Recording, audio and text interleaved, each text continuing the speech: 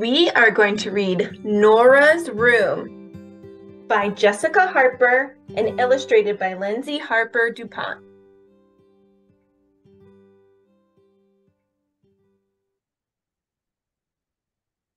Something's going on in Nora's room. Sounds like girls, sounds like boys, sounds like someone making lots of noise. Crash, bang, crash, bang, boom.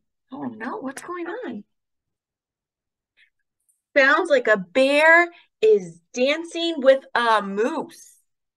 They like to dance when they're on the loose. Sounds like hippos at a hippo hop. Or when you pick a piano and you let it drop.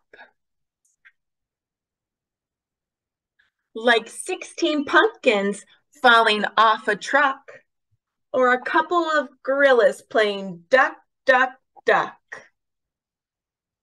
Silly gorilla. Something's going on in Nora's room. Bang, crash, crash, bang, boom. Like London Bridge is really falling down, or a couple of giants are sitting on a town. Like 47 monkeys are talking on the phone, or 47 dogs are fighting for a bone. Bark, bop, bang, ba ba boom. Something's going on in Nora's room. Sounds like a rodeo right upstairs or a bunch of rhinos playing musical chairs. Sounds like a dump truck dumping its junk or an elephant hoedown. Swing your trunk. Crash, bang, crash, bang, boom. Something's going on in Nora's room.